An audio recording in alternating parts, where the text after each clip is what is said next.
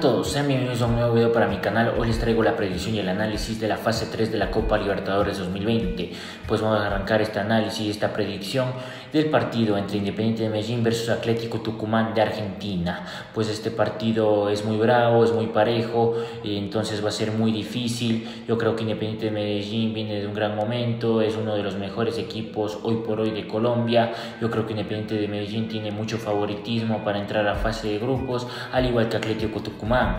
Pues yo creo que Atlético Tucumán lo único que le gana es en el director técnico que es Siemiski, que ya conoce un poco más de lo que es la Copa Libertadores, de lo que es el fútbol, de lo que son este tipo de partidos difíciles y yo creo que este partido está destinado para penales y mi apuesta será para Atlético Tucumán. Atlético, Atlético Tucumán va a avanzar sin ningún problema a la fase de grupos. Pues el otro partido entre Barcelona Sporting Club, Cerro Porteño de Paraguay, eh, es un partido igual muy apretado entre dos grandes de cada país, que los dos van a sudar la camiseta hasta el último, los jugadores saben lo que son estos tipos de partidos, saben que se está jugando tema económico y tienen grandes jugadores, pues yo creo que Barcelona Sporting Club eh, es un poco superior a Cerro Porteño, pues Cerro Porteño ya no tiene el mismo equipo que el anterior año, que les llevó hasta los cuartos de final de la Copa Libertadores 2019 y no tiene el mismo cuerpo técnico.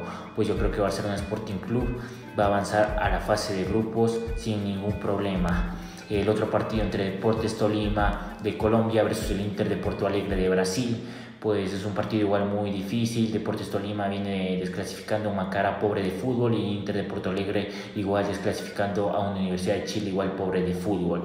Pues yo creo que eh, el Inter de Porto Alegre eh, va a pasar con muchos problemas porque no tiene, no me da mucha confianza, no tiene muchos grandes jugadores, Pablo Guerrero no está en su mejor momento y Deportes Tolima he visto que los jugadores son muy jerárquicos y sudan la camiseta hasta el último, pero va a pasar Inter de Porto Alegre a la fase de grupos. En el último partido de esta fase 3 de la Copa Libertadores tenemos el partido entre Palestino de Chile que viene goleando versus el Guaraní de Paraguay que viene derrocando a un gigante de Brasil.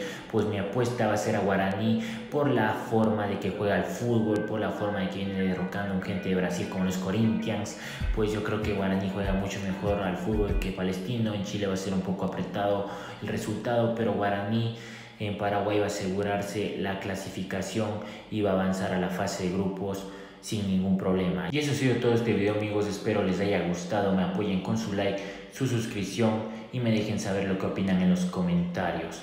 Con su apoyo voy a seguir mejorando y darles un mejor contenido visual y auditivo en los próximos videos. Gracias por su apoyo y por ver mi video.